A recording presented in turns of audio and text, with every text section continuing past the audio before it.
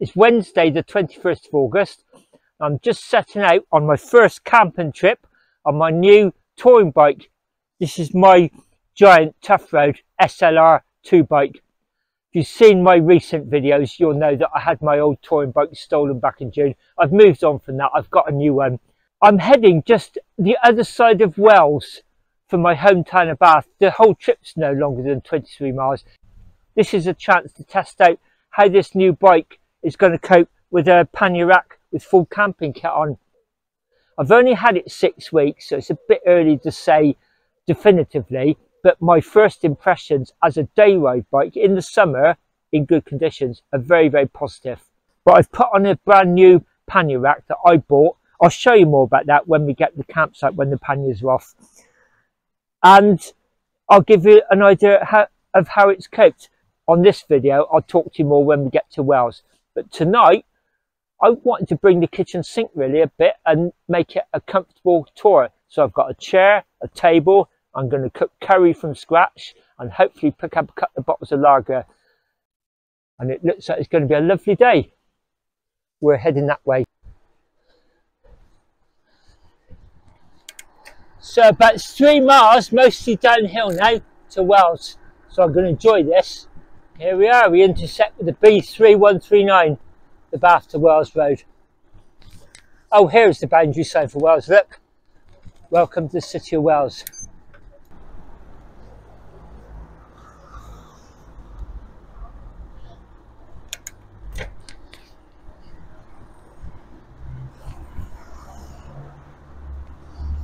Here we are.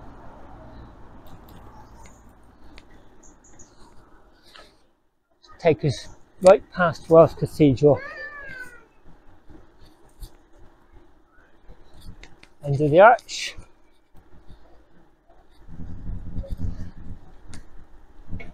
Okay.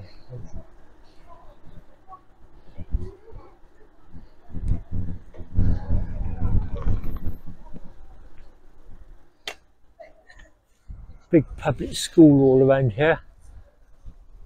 Here's the cathedral past two, quarter of the clock. It's very grand, and there's Cathedral Green in front of it. That's what we're heading for over there, St Leonard's Church. I actually prefer St Leonard's Church to one of the marvels of the West Country, actually. Bring us into, this used to be the old A39, believe it or not, to Wells, before the bypass. This would have had a ton of holiday traffic coming through here in the middle of the summer. Just off the left will be that famous square, Bishop's Palace Square, where they did that big fight scene in Hot Fuzz, where the market is on a Wednesday. Give you a quick shot. Street market. Then you've actually got wells running down either side. No water in that side, plenty of water down here just gives it such an atmosphere. This, which is now quite a popular pub, is actually the old city jail, believe it or not. So I'm going to head down there. This this section I had to walk because it's one way the wrong way. Get back on my bike down there towards St Leonard's. I've just left Wells on the Burcott Road, come through this residential area, and all of a sudden Wells just suddenly stops. Can you see? Around this little minor road heading out towards the campsite. That's the big hill in front of us, Ben Knoll. That's what we're heading for. Back there, there was like a little estate shop, the Burcott stores. Just stopped in there and got myself some lager for tonight. So I've got a curry kit and a chicken breast. So I'll be uh, cooking myself a curry tonight.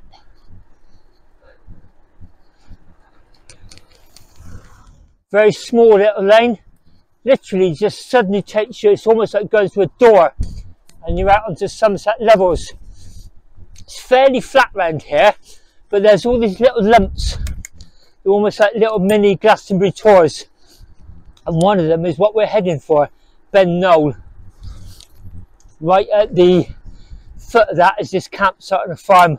I'm hoping we can get in there. I've stayed there a few times in the past can see we're right out in the heart of farming community now. Scattered houses and farms. And then once we break this tree cover, that's pretty much where the farm is, where we're heading for, 1.1 miles. it just feels like you're out in the middle of nowhere, yet we're only about a mile and a half from Wells.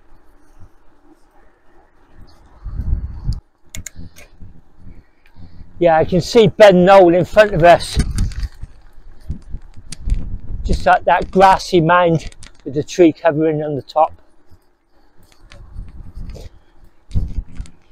And then on my left is just flat Somerset levels. It all seems familiar. Just round this corner, I think. Yeah, you can see a field there with camper vans and tents.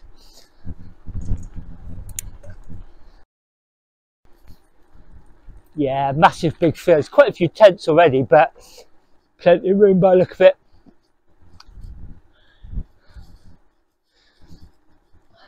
Right next to Reen on the right hand side. And this is it, ladies and gentlemen. Pine Tree Farm. Pop in and see where the is. Gosh, even got some seats there, look. Pop in through here. Yeah, that looks like it reception yet.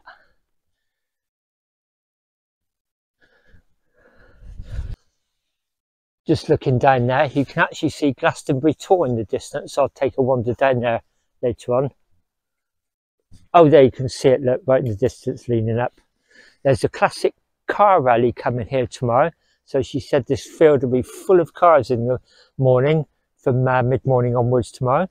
So you can sort of see there's a 2CV and an old black whatever it is over there. Oh, there's a water tap there. Let's go and get my tent set up. So that's looking the way I've just come in, the minor road that runs right the way along. You can see some of the classic cars there. There's another one just turned up. That's looking down towards Glastonbury. And that's Ben Knoll. Oh gosh, there's a big house up there with a load of scaffolding around it. And there's a farm over there. Right in front of us is the shower blocks and I've come along here just a little bit away from other people just in case I've got friends arriving. Guy roped my bike out got me ground sheet here ready to start putting everything on. I'll get the tent up. I've got the Vango Banshee 200 so you've seen that before. So I'm not one of these people that have a billion tents like a brand new thousand pound tent every time I make a video. I've just got my old favorite actually that I use quite often. I've brought my chair with me so I've got a seat to sit on and when I do that I always put the tent pegs and the poles in there a tripod for filming later on. I've got my stick table as well so there's the sticks for that. That makes packing the tent out really easy. I can just shove it in the stuff sack then it packs down smaller than the sleeping bag. First things first get the poles together. I'll get the tent up about there. I did say I'll tell you about the rack I bought I, I was going to get the rack fitted by Avon Valley Cyclery because they said bring it back after six weeks and they'll do a service. And they said to me they'll fit mud on the rack for free, you know, if I bought them there. But I wanted to go camping before then because otherwise I'm going to miss most of the season. So I bought an Altura Tortec rack. They normally go for forty nine ninety nine. I picked this up for thirty four ninety nine, thirty five pounds, so save 15 pounds on that. I made sure it wasn't a chinese copy i didn't buy it off ebay or anything i bought it off a reputable dealer. It's the last one he had and he just happened to get rid of it. It looks very substantial. It's 10 millimeter thick which is thicker than my old one. I know that because my pannier clips i had to put in some different adapters. It came with 7 millimeters and 11 millimeters so i had to take the sevens out and put 11s on as you can see, it's four point fitting. That's the reason I didn't buy the other bike. I was going to buy the the SLR one version of this bike in blue, but that came with a three point fixing rack, which I just didn't want. I wanted the four, especially as the braze-ons were already on. So it's got the four braze-ons and it's got a second bar and that is so I can either have the top bag and the small panniers on there at the same time, which I may do for youth hostling, or I've come out today with the big panniers on on that top bar. When I'm riding it without panniers I've ridden it a few times now with just a top bag on the top. So that's ideal. It's a really substantial beefy rack. It's anodized as you can see. What I do like is it comes with this back plate for lights. And so I like cat eye rear lights so I just bought a Cateye adapter to put on there 3.99 so I can have my Cateye lights on there. Because I always put rechargeable batteries in those. And so they're always topped up. Every time I do a ride I come home take the batteries out and top them up. And I always have a second light. So when I'm touring with panniers I've got a bracket on there. When I'm using the top bag which is most of the time I'll have that light down there. So I've always got two. It's nice to have two lights when it's really dark and you're out in the countryside. And also one acts as a backup for the other. So I'm pleased with the rack. When I first left home this morning you know the first thing I was aware of it wobbled a little bit with the luggage on the back. But it did that with the old bike but very very quickly. As with all my bikes you just get used to it. You soon adapt to it because I bought this new and it's an Altura, it came all shrink wrapped and plastic wrapped. You know, I know it's genuine, not a copy. And it told me that the maximum luggage allowance, the maximum luggage carrying capacity is 30 kilograms. And I've never weighed my luggage before, and I was pretty sure I was never anywhere near that. That's 66 pounds. And I know from being a postman, we were only supposed to carry 20 pounds. They quite often weigh our bags to make sure we didn't carry more. And so I got some luggage scales. I just picked some up from my local hardware shop. And I weighed the panniers this morning and it's 20 pounds each side. I made sure I, I loaded the panniers equally. I, I, I rode into the campsite with just over 40 pounds on because I'd bought a couple of bottles of beer. And so that's well within the maximum allowance. I've also ordered through the Tredz website because I deal with them got no links to them whatsoever I just find them a reputable dealer and the service is always good I've actually pre-ordered the specific giant front rack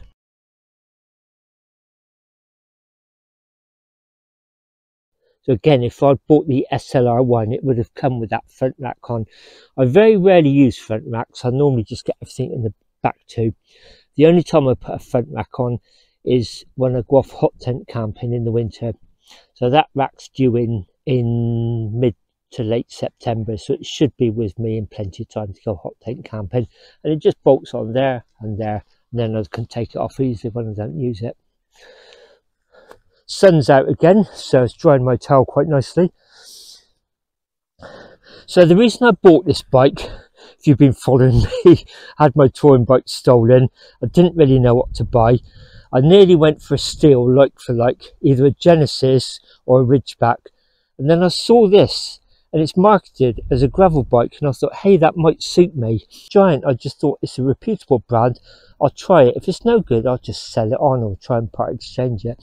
My two reasons for buying it were I wanted a replacement for the Caribou, which I used for winter riding, and I want to feel safe, straight handlebars and wider tyres and a higher centre of balance. You know, when the roads could possibly be slippy with ice or gravel or slippery leaves. So mostly it's going to be for winter riding, but I also want to use it for summer touring. And at the moment, admittedly, I've only had it for less than six weeks, but it just seems to fit the bill perfectly. Um, my first month and a bit of it, I'm very, very pleased with it as I said, I don't do technical reviews. The other thing I was a little bit concerned about was the Caribou had a triple chain set and a fairly narrow, tight, compact block on the back. This has only got a double chain set, so I thought I may have to tweak about with the, the gears, but that was the least of my worries. I just wanted a bike that fitted and felt right. But I've got to say today with the with the luggage, I didn't have to get out saddle whatsoever. You know, the gears seem to be fantastic. The front chain rings are 44 and I think the inner is 22. If that's wrong, I'll put it on the screen now. And on the back, I've got 9 speed, 11 up to 36. and that just gives me the fantastic range of gears I can get up most hills quite easily without even getting out the saddle. A lot of the time when I'm on the flat, I just don't struggle to find the gear that I'm comfortable with. And when I am going downhill, like coming off the Mendips today, it's just there's the high gears that I really need. And also having a double chain set as opposed to a triple, it just feels like it's less likely to derail you know, it could derail with cable stretching and poor maintenance, but it's, I think a double is less likely to derail than a triple, or you're less likely to get bad gear changes. So, again, just my initial thoughts about the bike. But at this moment in time, I'm very, very pleased with it. As long as it lasts and stands up to kind of the punishment I'm going to put it through, I'm very, very happy with it. It's about quarter to seven now and temperature's starting to cool so I'm going to start preparing my food so I've just cut up my chicken breast into little chunks I'm going to open this curry pack now all the instructions are really simple. There's only three stages and on the back. So just mix the spices in fry that in a bit of oil just until the chicken's starting to brown. Then you mix the marinating sauce up with a little bit of water pour that in and boil that for I think it's about a minute or so. And then you add the main sauce in. You just cook that for a few more minutes. Or as I said all the instructions are on the inside but it's all finished within about 10 minutes so I'm actually quite looking forward to it now. I'm getting quite peckish. There you go. That's the herbs and the chicken. Just going to keep turning those until they brown then pour in the marinating sauce for two minutes and then stir the main sauce in for a further eight. Nice and easy, smells wonderful already. There is the curry then bubbling away, really nice big chunky red chilli in there. So I just boil that away until the sauce reduces a little bit. I've got my plate ready, second beer. There you are, chicken curry. And I've just poured in that saucepan. Got my second bottle of lager open just enjoying the moment actually 8.30 p.m. now and I've had my curry packed away still got one bottle of beer left might take it back up on that seat actually by the mound you can tell the evenings are definitely drawn in the other evening when it was overcast and wet it was dark by about quarter to eight last night was completely clear but it was also dark say by about 9 p.m so the evenings are definitely drawing in. Just going to go down there and have a look down south, down towards Glastonbury Tor. And this is the lane that I came in on. There's Glastonbury Tor right in front of us. don't get much more idyllic than this really do you, for a campsite. Little rain running alongside. Very, very minor road. Tractor just pulled out. So there's a T-junction there, that heads down towards Glastonbury. And that's the way I think I'm leaving tomorrow morning, that I'll head up towards Wookie, Wookey Hole. That'll be more churches.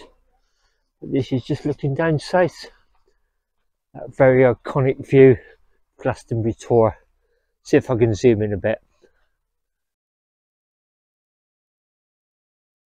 This is on my action camera, so the zooming's not great on this, but give you an idea what we're looking down at.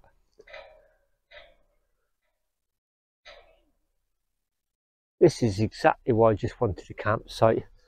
Just a nice little cosy place like this without the fear of being moved on or people turning up or wondering, you know, whether I'd be challenged.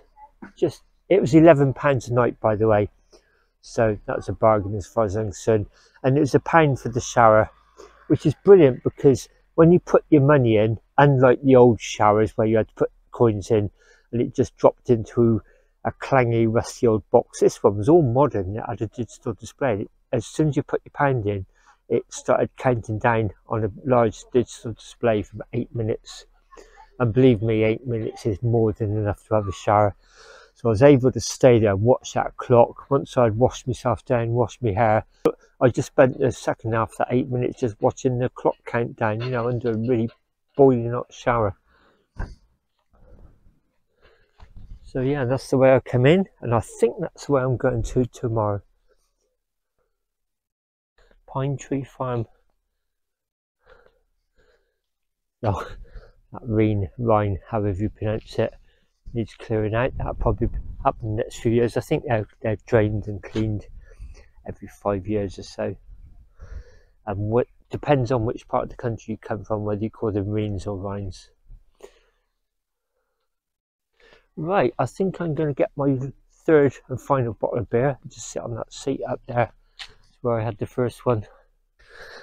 So yeah, I'm to bring the beer up and sit here, I think. Just chill out. Watching it get dark down there. It's just coming up to 9pm now and I'm back up on this slight little rise on one of the seats in the middle of this campsite. I'm on my third pint of lager I've had my curry, washed it all up, put it all away. Everything's ready just to dive in the tent later on. Just sat here looking down over the Somerset levels down towards Glastonbury Tor. That's behind the camera, so that's behind you. Just loving the moment actually. All the camper vans with their little awnings all lit up. Uh, people walking dogs. There's awning over there which has got lots of different coloured fairy lights over there. Uh, toilet blocks all lit up. It's just a wonderful moment actually.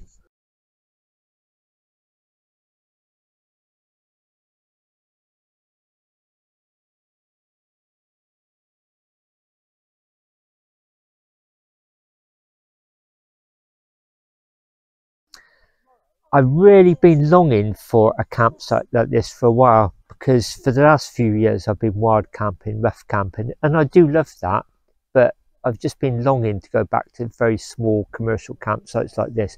Been watching people like Paul Messner on YouTube when he was doing the West Highland Way. He used a lot of commercial sites like this, and my mate from Bristol, Terry, who rides to Brompton, he uses a lot of small farm or organic farm campsites. So I've just been longing for campsites like this and it also allowed me to test the bike really. I just knew that if i got in trouble with the bike i could sort of head home quickly and get it fixed or there was even a bike shop in Wells so it's a test ride. But the bike's held up fine actually. I did i was a little bit concerned by the wheels. As i said they're only factory built ones with 28 spokes in but they seem to have you know they seem to be fine you know touch wood first night out but i was given some pretty beefy, serious expedition wheels, so I can always put those in for touring if I need to, but who knows, I may not need to.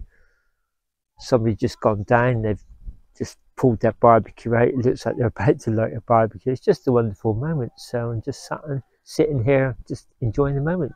Cheers.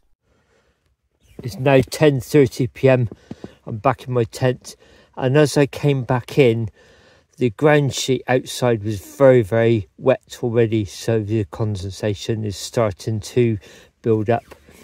Lovely and cool in here, but for now, I'm going to say good night. See you in the morning.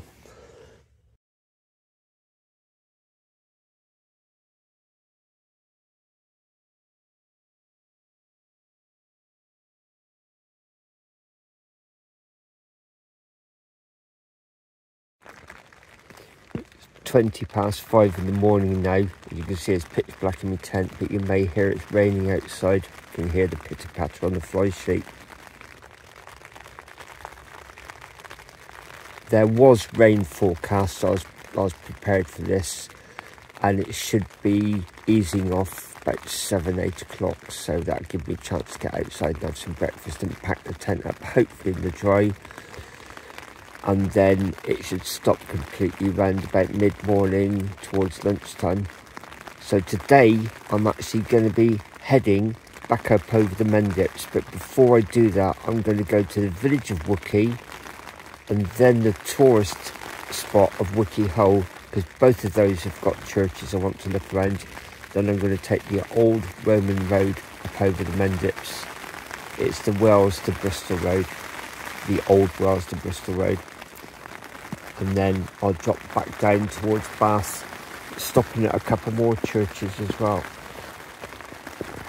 Meanwhile, I'm just going to sit here and listen to this rain on the outside of the tent. It's, it's actually quite a nice sound actually because you feel so cosy in here. Yet just a couple of millimetres away there's rain hammering down on the fly sheet. It's probably about six o'clock now in the morning. The rain stopped about five minutes ago. It's a good opportunity to get dressed and walk over the toilet block. You can see it's almost light start hearing the birds singing. It's not exactly a dawn chorus, but certainly the birds crowing. There now hooting over there when I was closer to the farm. I've got the tent light on, so that's the air mat pump, which actually doubles up as a tent light. It's got a ring around it, so you can just hang it up inside the tent. I put the ground sheet over the saddle and the bike last night, so I've kept most of the bike dry my seat's upside down so hopefully it'll be dry enough to sit on when I get up for breakfast. Can hear a little bit of bird song. It's not exactly a dawn chorus, but it's the birds in the trees. Some crows crowing down there. As I walked over towards the farm, you could hear an owl hooting somewhere up in the woods. Just really enjoying this. I just walked down to show you the Gestapo car.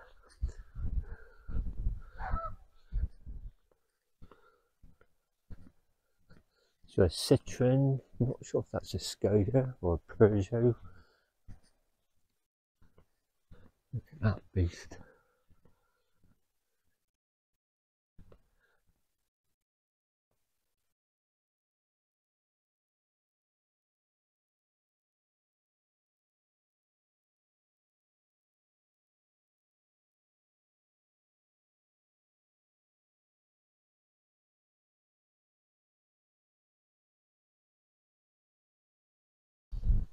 Just coming up to 9am and I've been rushing to try and avoid the next batch of rain but it actually seemed to have blown over. I had one or two spots on me when I was taking the tent down.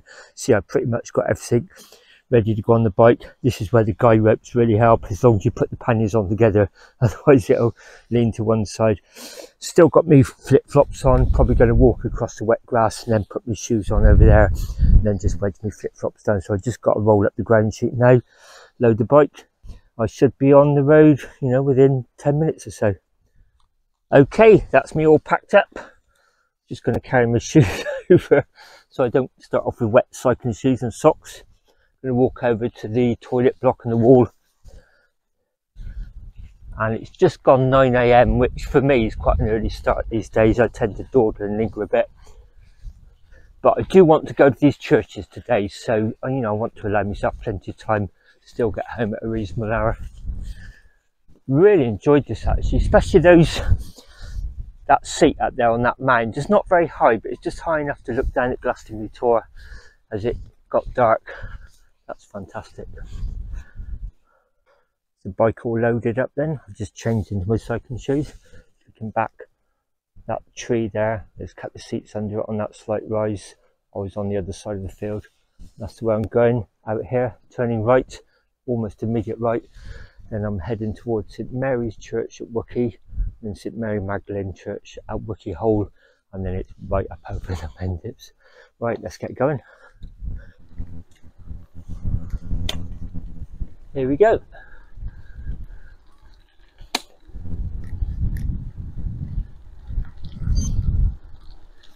Then right at the end of the farm, you turn right. It's about a mile or so up to Wookey. Thank you very much, Pine Tree Farm. That was a lovely night's camping. Everything I wanted and more actually. Curry, lagers, just a feeling of, you know, I'm supposed to be there, I'm not going to be challenged or anything. That peace of mind really. And peace, yeah. So thoroughly enjoyed that.